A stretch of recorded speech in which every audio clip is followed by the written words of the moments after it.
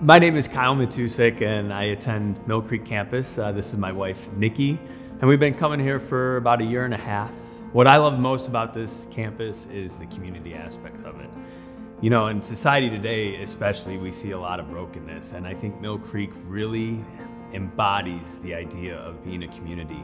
From the community dinners to hanging out after Sunday service uh, to Sterling's preaching and Libby in the Child Care Center, it is a place that from day one, when you walk in the doors, you absolutely feel welcome. And so their motto is for where you are. And the reason why we love Mill Creek is because they accept us for where we are in our journey with God. And we never feel judged and we always feel welcome. And this is the first church where we actually want to call it our home.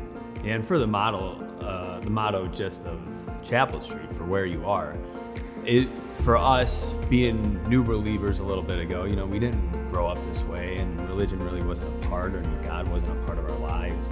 And just through our stories and the things we've experienced and the brokenness that we had as a couple, as individuals, and everything we've been through to come to a church that's for where you are, we don't care. Just walk in the door and then to meet people that are involved here and the teams and everybody, it's just a very welcoming experience to, to be a part of, and it, it's pretty amazing. So I did Moms Together last year. I was super nervous to go. I didn't know anybody. I didn't feel good enough. I walk in, I was like, this is gonna be scary, but it ended up being my favorite day of the whole month. I ended up doing every session. I met great women. I got their numbers. One of them's a good friend now. We go for walks in like the forest preserve together and talk about God and yeah, it's like a uh, it's a very special morning. Yeah, we have two little girls. We have a six and a seven year old, and they absolutely love Sunday mornings. Um, we did VBS over the summer, and they were ecstatic for that. Like, we'd pick them up and they'd be beaming, like, can't wait to tell us what they learned. And yeah, Sunday mornings, they're all about church. So the community spreads beyond this church and what the church is trying to do because we take a piece of this with us and every day and we just go out in the world and bring what Mill Creek offers to us and we bring that out into the world. Well, and it's not just us because this reminds me that I got a Facebook message.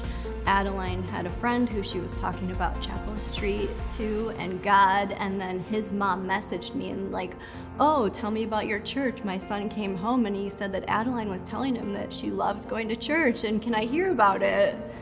So yeah, it's not just us, it's the kids like spreading the message too. I remember one of our first sermons that we came in, because you're trying to figure it all out as a new believer, like what do I have to do and is there a list and all this? And Sterling said there's two things, two things, love your God and love your neighbor. And I was like, I, we can do that, right? Like let's just, let's just get good at that and great at that and let's do that, you know, and that's our focus and come in here and listen. So we get to spread the word of God out there and live the life Jesus wanted us to.